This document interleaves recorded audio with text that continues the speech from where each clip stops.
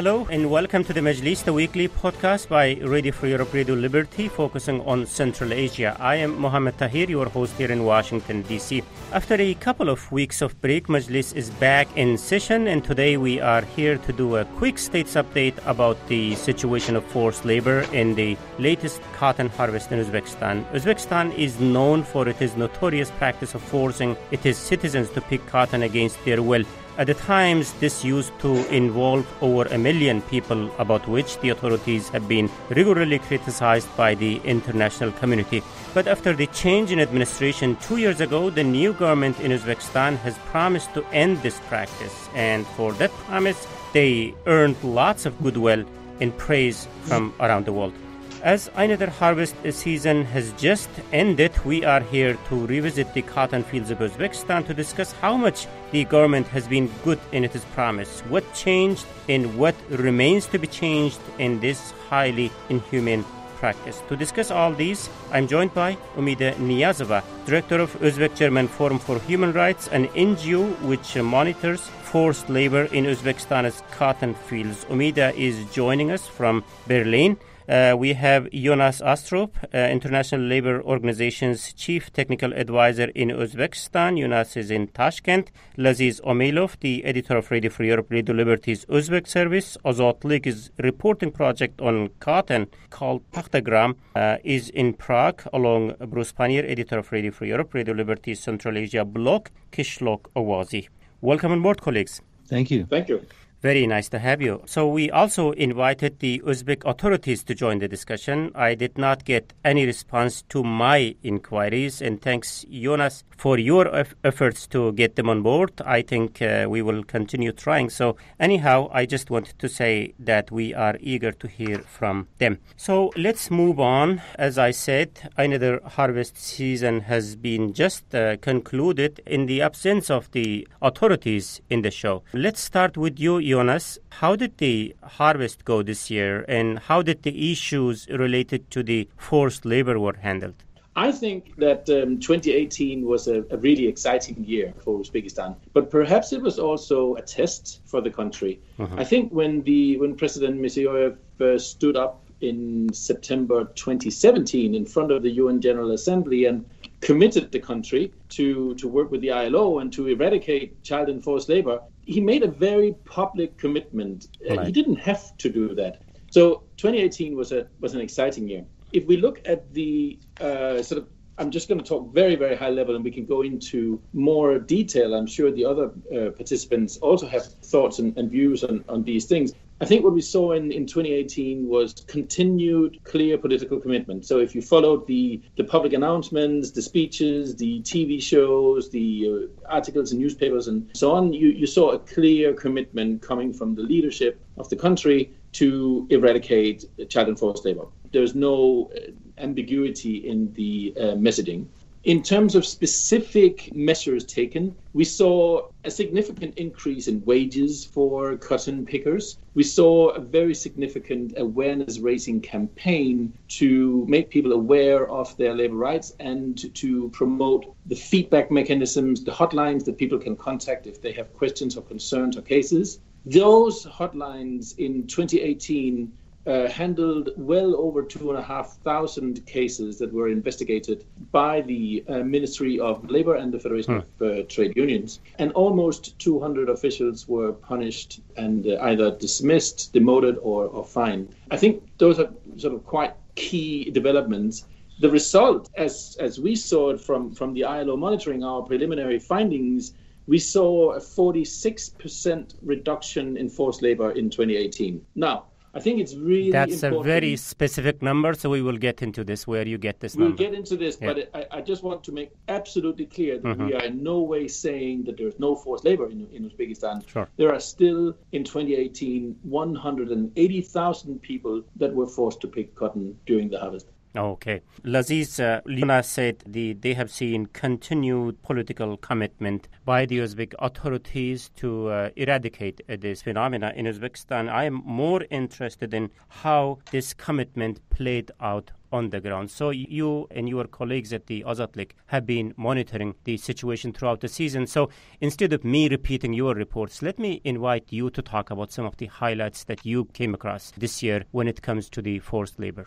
So yes, we also could notice that there was like big uh, state governmental campaign against forced labor. We could see that in newspapers, we could see that on social media and everywhere. So basically, there were these hotlines, as Jonas is saying. Everything is correct. But what we noticed in practice on the ground, two differences that we noticed to, to, to speak generally. First, we didn't see kids being taken to the fields. And we also saw that the government or the local government became more responsive to complaints and mm. problems report. But again, I'm talking only about the cases that we were covering because physically we were not able to to report everything. But those cases that we were investigating and we were publishing uh, normally the prosecutor's office was coming to us talking to us and sending there the team and really trying to talk to those people. They were finding those people and trying to talk. We, we had a case once when two guys reported that they were from Angren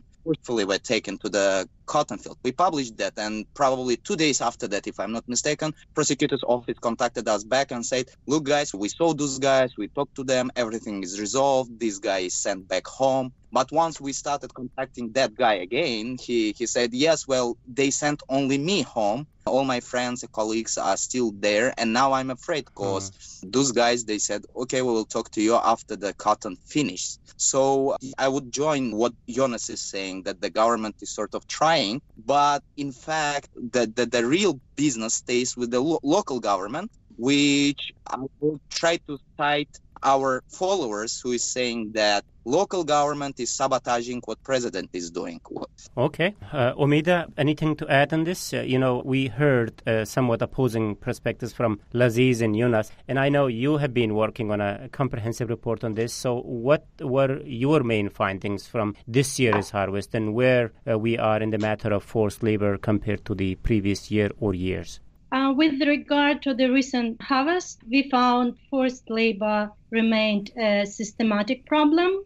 Uh, the government continued to impose cotton quota on uh, regions and districts and uh, imposing responsibility to fulfill this on officials. And in turn, these officials um, imposed quotas on public institutions like bank, enterprises, businesses to send employees or to pay for pickers. And we also found that hmm. teachers and healthcare workers in this year's uh, cotton harvest, they participated, also had been sent to pick cotton, but uh, on the uh, less scale than in previous years and we see the the real kind of problems that, for example, uh, with the onset of the cold weather, uh, the number of volunteers uh, has declined, and despite the increasing of payment for pickers, which was good, like up to 10 cents per one kilogram at the end of the season, hmm. it was not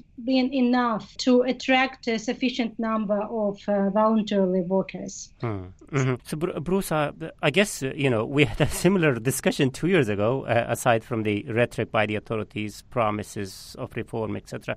So, what did change and what remains to be changed the way you see it? Certainly, you know, wages did go up. Uh, that was yeah. good, and yeah. there was. Um, I think everyone agrees that there was less forced labor in Uzbekistan's cotton fields in 2018 than we saw in previous years. Um, the question for me, you know, all, all of last year was we saw that when when officials got caught for forcing people into the cotton fields, that they were punished. Uh, when it when the, when this was made public, um, they were punished. Now, Amita mentioned that there still keeps the quotas on, and the the chain of command to me is not entirely clear. I'm trying to figure out, you know, the government, we know that the top people say don't send people into the fields. We won't stand for it. At the same time, somebody eh, way up in government is saying, but we still need to get X amount of cotton from this region, that region, the other regions.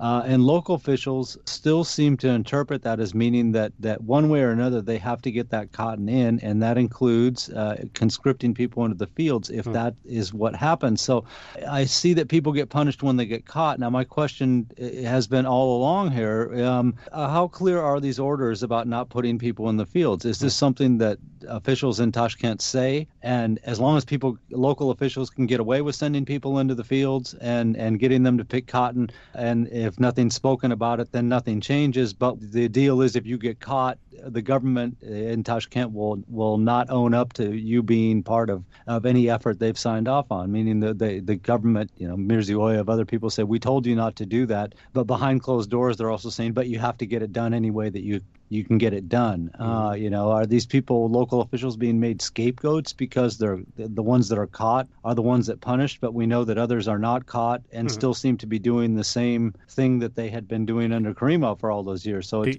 it's it's really unclear to me. I, do you want, publicly? Bruce, do you, the government's against it. Bruce, do you want Jonas to respond this? I mean, probably he knows what's going on behind the doors. Yeah, sure, sure. I'd like to hear his opinion. Yeah.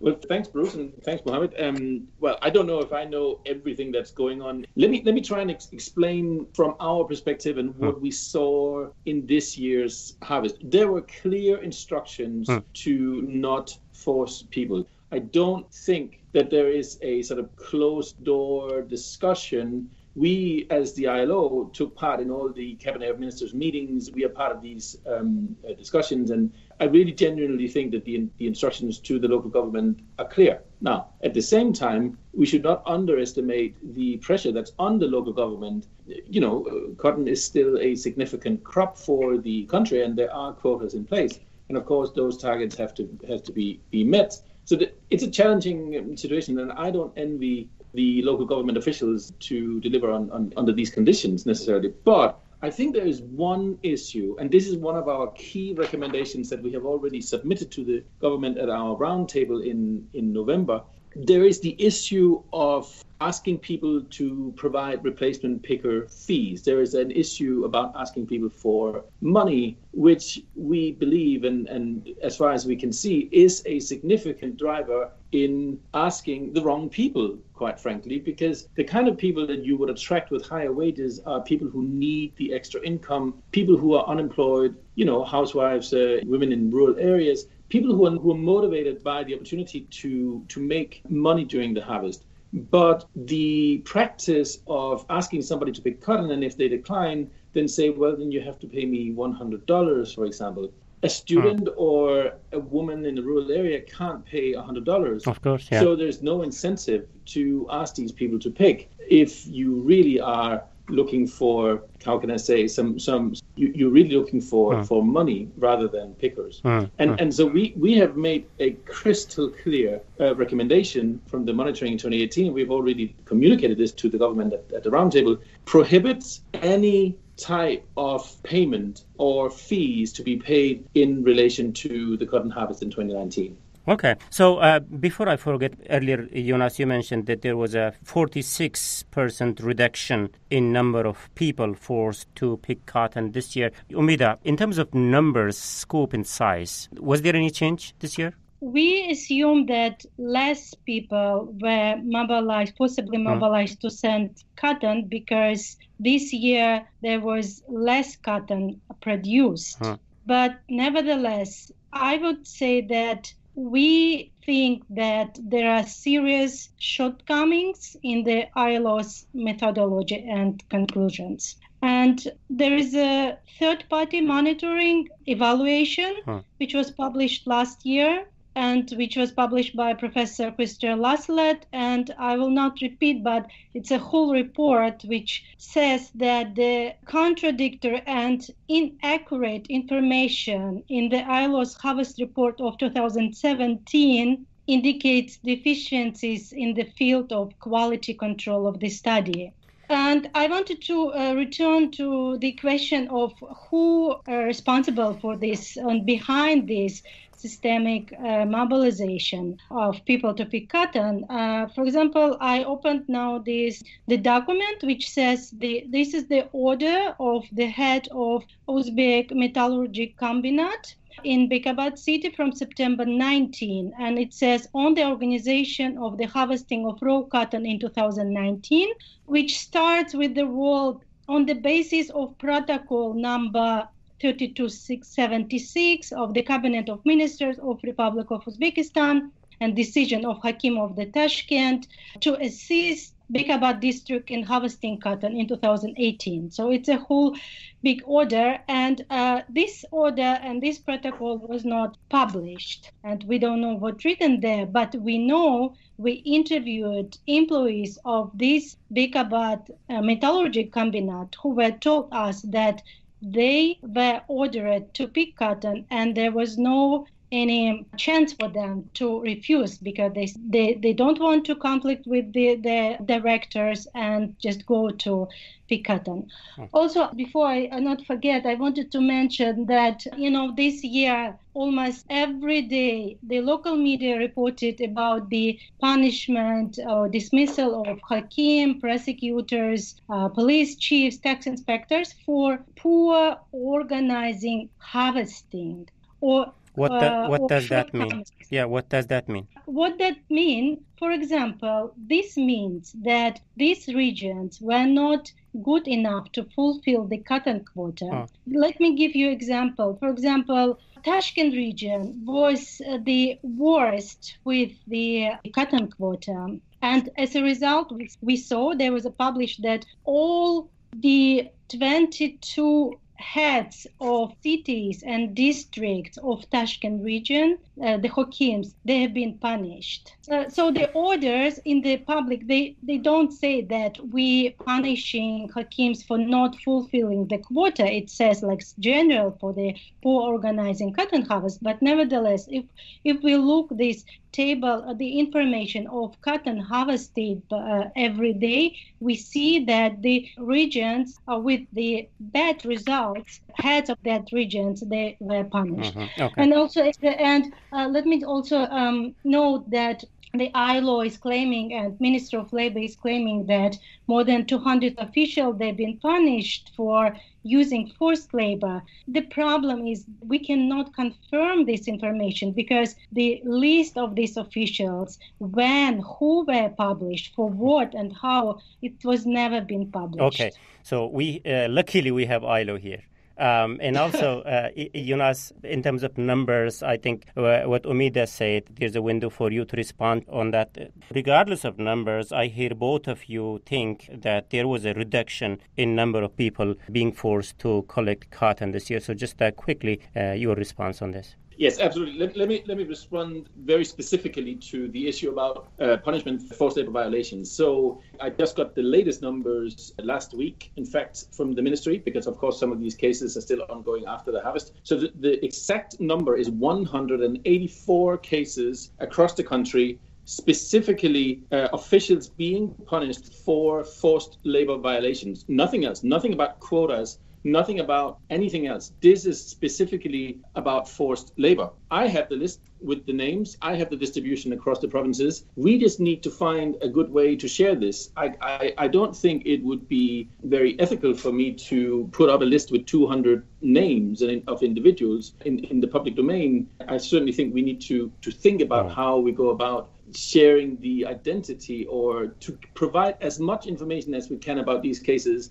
without violating people's rights to privacy and, and, and, and so on. When we issue our report, I will make a commitment today that we will include that list in a way that we, we don't disclose people's identities, but we could perhaps go uh, do it by region, by province, by district, et cetera, et cetera. Mm-hmm. Um, now, the other thing, I just like, I mean, Umida, Umida, you, you're more than welcome to disagree with our findings, and you're more than welcome to have concerns or questions about our methodology. But it would be good if, if you were specific, and I would be very happy to answer any of your, your questions or any of your, your concerns. I, I can tell you that the 2017 monitoring was very different from the 2018 monitoring. So if, if you are thinking about the 2017 harvest, I think things have changed significantly in the way we do monitoring. So we, for example, don't do monitoring with any type of government or trade union officials in 2018.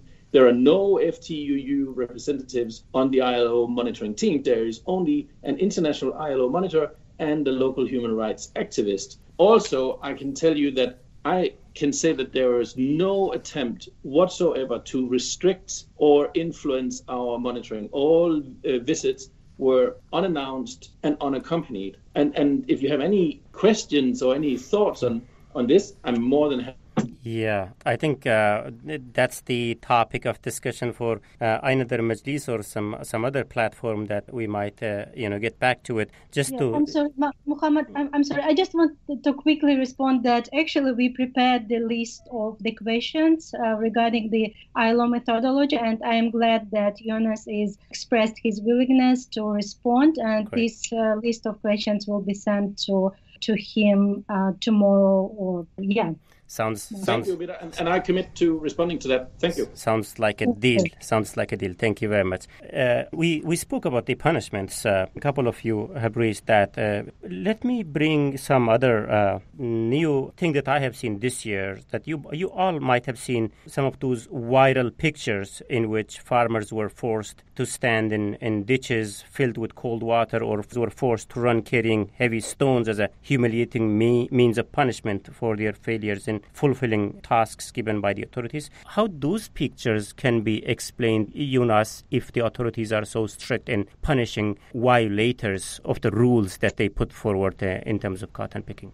Yes, I, th- I, think I know which picture you are you're referring to, and I think for the benefit of the listeners to, to the podcast, I mean, I assume that you are you're referring to the picture of people standing in, in a stream of water. Is that yep, correct? Yep. One yes. is that, and so, the other so one was I have seen a couple of farmers carrying heavy stones and running, and that was taking place yeah. in front of a local administrations. Yeah, I, I, think it's it's important.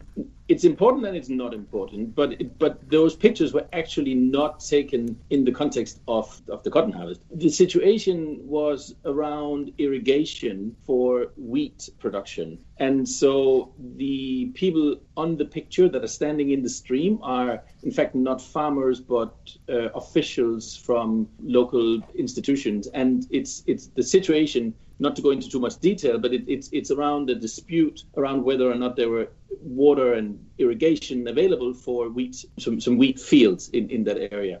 That's of course completely unacceptable to to treat people in that way. And that view was shared by the government, by the president, by the prime minister, and others. And as a result, the individual, the senior government official responsible for that was demoted from a very senior government official as, as Minister of, of uh, Agriculture and Deputy Prime Minister. He was, in a very public way, fired from that position. And, and he's now reappeared as, as a as a local official in a, in a, in a district in, in Jizzakh, which you you know I, I think it's important to stress that those pictures are not the norm. When people in Uzbekistan saw those pictures, they were stunned and appalled, and, and it had consequences for the responsible um, mm. individual. Okay, okay. So um, authorities, uh, you know, have promised to change the practice of forced labor, and I want to believe that they are genuine uh, in what they say. So, how much their actions correspondent with their promise? What are their challenges, and are they in a position to cope with this challenge? So, we will continue the discussion discussion talking about these and many other issues very shortly.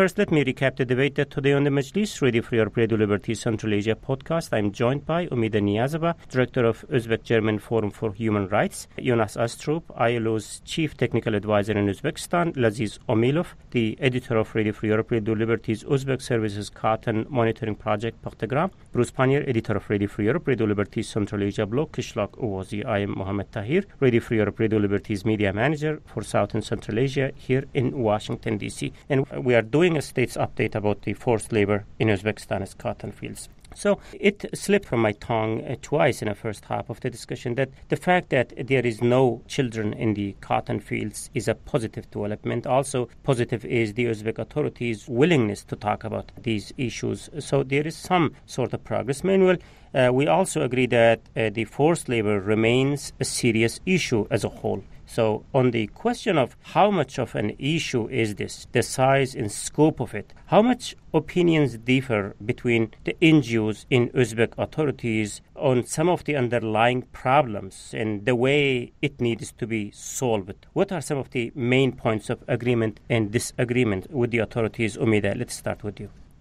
Umida? Umida, are you with us?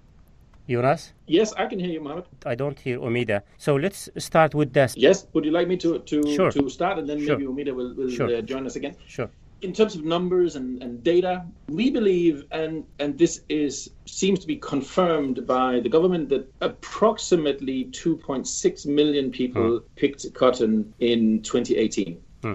That the official number that I've seen is 2.63 million to be um, exact. Hmm. I, am not aware of anybody challenging that number. Hmm. Where what is really interesting to look at is to see the different categories of pickers that make up these 2.6 million people. Hmm. So you have farm workers and their families. That is one category of, of cotton pickers. Then you have a second group of pickers, which are self organized group, typically women very productive. You could call them top professional pickers. The third group is unemployed people. So Uzbekistan has approximately 600,000 young people joining the labor market every year. And that's a, a, challenge and an opportunity for the country. But it has to create 600,000 new jobs every year to, to meet that challenge. And, and that is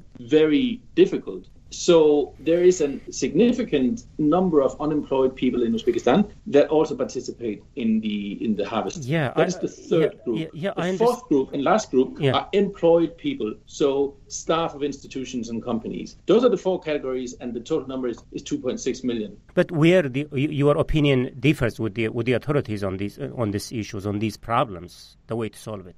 You know, the thing is, Mohammed, I, I really don't think that our opinion differs so much. When we presented data to the government and we said we believe that there's 180,000 people who were forced to pick cotton in 2018, there was no disagreement. Okay, so uh, let's look into this from the NGO's perspective. Umida, I guess you are back. Uh, I saw your uh, microphone was muted yes. earlier. So when you uh, compare your checklist in terms of the problems, the underlying problems, or the approach to our solution, so what are some of the main points of agreement and disagreement with the authorities? Uh, with regard with the numbers, so it's um, two years ago we estimated that around one million, so something like thirty percent of people uh, harvested cotton. They've been sent to work because they, but so they've been uh, the employees of uh, different public organizations, and they've been forcibly sent to pick cotton.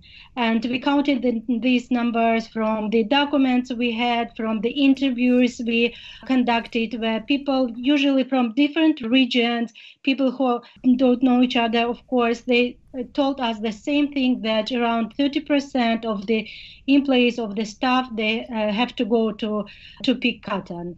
And this year we found that many employees like uh, even the head of the organizations like tax inspectors or banks or even uh, police office um, chief of the po- po- policeman they've been requested to hire one sometimes up to five people to send them to uh, to pick cotton and pay them uh, themselves, like from uh, their own pocket. And uh, my uh, question also was to um, uh, to Jonas that what percentage of let's say these voluntary pickers were hired by government employees, so and were paid through extorted money.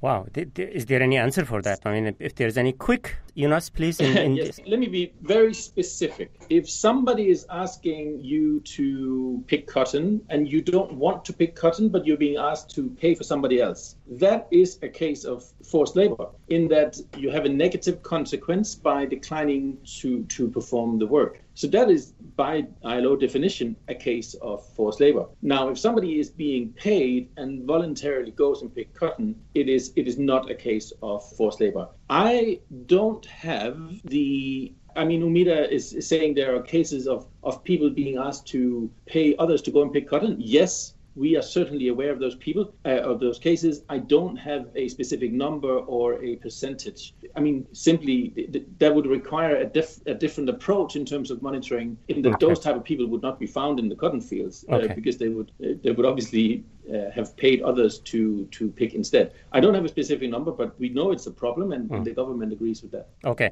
so uh, Bruce, uh, you know, uh, the NGOs, ILO, and the authorities all seems to be uh, in agreement in one thing that this there's a problem, it, it needs resolution. And in terms of what is a problem or what should the approach be, they stand in a different corner of the page. So, how much of a problem is this when it, when we are talking about the solution? Well. Hmm you know, I mean, that's going to be t- difficult to quantify, certainly. Yeah. You know what? What I would say, I suppose, is that uh, we know that this has been a practice in the country for a mm-hmm. long time, and and you know, the saying "old habits die hard." So the, there is clearly an effort to try to remedy this situation, and, and it starts with the president declaring that he doesn't want any more forced labor in the country. Now, how you're going to hold everyone accountable for this kind of, you know, Uzbekistan's got a big population. How are you going to hold everyone accountable for these uh, misdeeds? I'll say. How are you going to identify them? How are you going to get, you know, get the message through that people shouldn't have to pay to not go to the cotton field, so that that money can be handed over to someone who is willing to go to the cotton field? I mean, these are these are tough questions. It would require really the kind of monitoring that there's simply not enough manpower on the ground to do that. You know, I would to go back to the the picture of the guys with the stones and mm. stuff. Mm. I think, uh, you know, that, obviously that's a horrible story, but for, for me, what was really encouraging about that is that someone was willing to film that and post that on the internet. And to the best of my knowledge, although Laziz would know far better than me, I don't think the people that that posted the video were ever punished certainly, uh, and they might not have even been looking for them. Um, so there seems to be a sense on the part of the civilian population that that what Mirziyoyev said is what how it should be. Maybe that is the truth. And you know, I think the it's really going to be up to the because again, this you know, like I said, this has been in the system for a long time. This is going to have to be partially, if not mostly, a grassroots kind of movement where people show that they're not afraid to film or report these kind of abuses, you know, so that they can get their own message across. That might end up being one of the best ways of solving this, and that we didn't see three or four years ago. Let's let's bring on uh, Laziz here. Laziz, you are running the entire project based on the uh, reports that you get from people, citizen journalists here. So, uh, how you evaluate the activeness of people uh, reporting about the issues, the type of issues that Bruce just mentioned about people being punished standing in the ditches, or the other violation of uh, human rights in the cotton fields? Is it more, less compared to previous years? Uh, certainly less. This year we received uh, less reports, but still there were a lot of them, but relatively less than it was previous year. And and again, what what we could notice, like the local government was really going to the person who was like reporting to us, trying to talk to him, to him or to her, resolve the problem. And the final thing, what they were telling them because we, we are getting this information from direct source who, who was reporting to us and whose information was confirmed. To was prosecutor's office uh, state prosecutor's office giving uh, like the order to the local prosecutor's office go and talk to them. The moment they come there they resolve their problem and the last thing what they say next time if you have something to say don't don't tell it to Ozodlik tell it to, to, to, to us and we'll resolve it but what we see from the reports of people messaging us, they say we try to complain, but nothing is resolved. Hmm. Uh, we try to complain, and eventually our complaints they come back again to the regional government, who comes and says, "Why are you complaining?" You know well but again like you guys were talking about the remedy and about more global things in cotton harvest. And while we were uh, talking about like local government and central government and that probably central government doesn't know what local government does and blah blah blah but again there are plenty of systematic problems in terms of agriculture and including in cotton sphere hmm.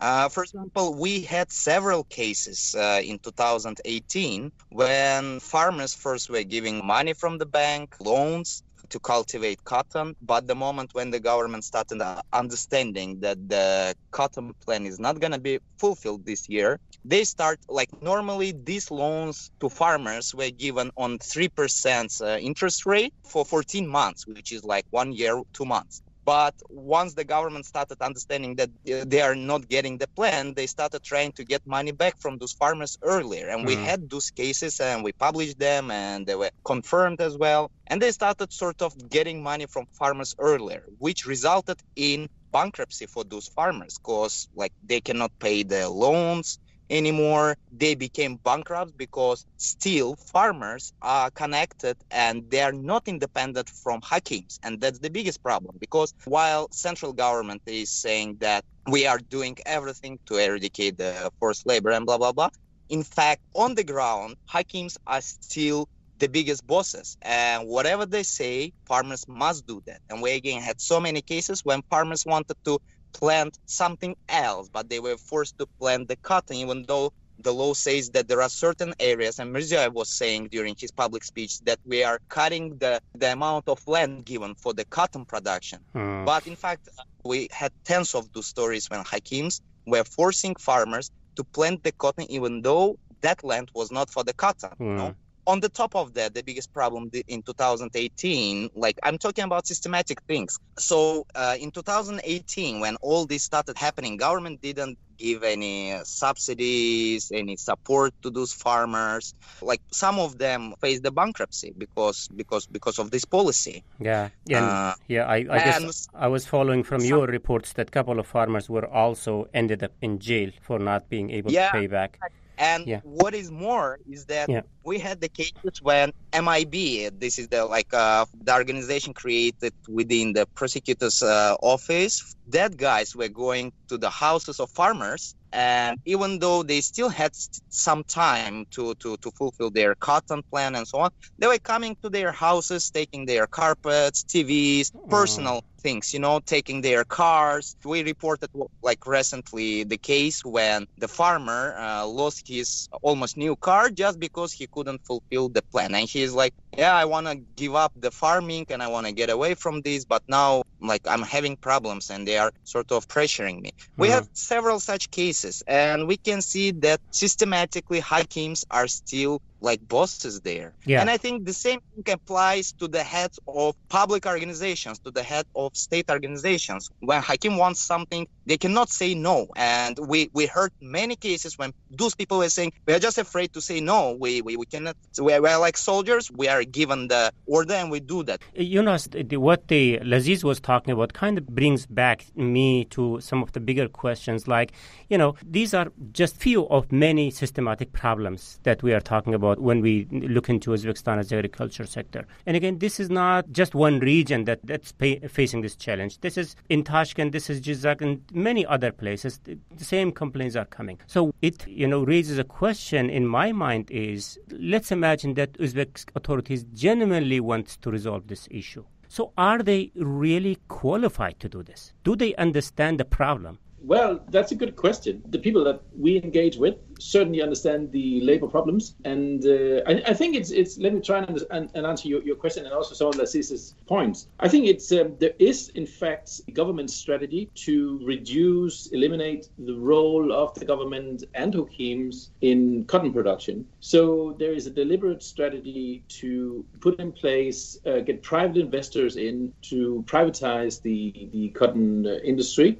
and the vehicle that's being piloted currently are so called textile clusters, where investors will take over the role of the government, if you like, for a certain area and move buy the cotton from the uh, uh, farmers. There are, there are, different models that vary. It would probably be too detailed to get into that now, but the overall idea is that moving up the value chain, manufactured textile and garments rather than exporting raw cotton, and have private investors run the industry rather than the government. Now, that is happening those textile clusters are being implemented but I mean, the outcome is not changing the reality on the ground uh, you know that's why I, I think it raises yeah. question in me like i mean are they really qualified to handle this issue do you mean to grow cotton or no to no to, to deliver the promise that they are making to people Yes, I, I well look, Mohammed. I, I, firmly believe that the government is clear in its commitment, and I think they are coming back to this to the beginning of the discussion about the how can you say the contrast between the central government and the local government and some of the dynamics we're seeing there. I, I think it's it's it's um, it's. Uh, I definitely think that the strategy of the government to eradicate forced labor is is um, is sound. I think the strategy to reduce cotton production by 20% by 2020, the strategy to put in place textile clusters and get private investors in rather than having the government have a quota system as it's the case now. I think those are the right type of instruments. So, I, yes, to answer your question, yes, I firmly believe that they are qualified, and I firmly believe they're on the right track. In fact, I think they deserve our support. I think that Uzbekistan deserve the support of, of us mm. as international players. Uh, uh, they deserve the support to realize this uh, commitment. Mm. Um, so, yeah, I hope that begins to answer your question at least. Okay, thank you very much. We really need to end the discussion too, but yeah, um, Umida, Umida, your thoughts definitely on this. So, what do you think about the Uzbekistan strategy? And Jonas also said that they are on the right track, but they also need our help. So, I believe you guys are willing to help them. So, um, yes, unfortunately, I see that there is a fear of serious reforms and to provide the serious reforms in agriculture which means that this would start with uh, land reform and the agriculture sector itself. So we have said many times that farmers should be given the opportunity to choose what they plant. They should be relieved from having to fulfill the quota and just allowed to pay taxes like in other countries. They need to be protected from threats of confiscation of their land. Mm. And if farmers are given like ownership on their land, they feel that they can invest more and develop uh, it uh, accordingly. And uh, uh when we talk about forced labor, we usually uh, tell about the many people, like employees of different organizations, mobilized to forcibly to pick cotton. But of course, the situation of farmers is the the maybe a root of the problem. Because for many many farmers to grow cotton is simply not profitable. That's why they don't have enough money to attract enough voluntary labor and knowing this, the heads of the regions, hakims, just forcibly mobilize and send employees of organizations to work on these farms. And this is the paradox, actually, in the country with such a high uh, level of unemployment. We see that hmm. uh, government use the people who have their jobs already uh, okay. to go and pick cotton. Okay, thank you, Umida Niyazova, Director of Uzbek German Forum for Human Rights, Jonas Astrup, ILO's Chief Technical Advisor in Uzbekistan, Laziz Omilov, the Editor of Radio Free Europe, Radio Liberties, Uzbek Services Cotton Project, Pakhtagram, Bruce Pannier, Editor of Radio Free Europe, Radio Liberties, Qishloq Ovozi blog, which focuses on Central Asia. Thank you very much, colleagues, for joining us today. Thank, Thank you. you. Thank you. And Thank this you. and this is from me, Mohammed Tahir, host of the Majlis podcast here in Washington DC. Until next week, bye bye.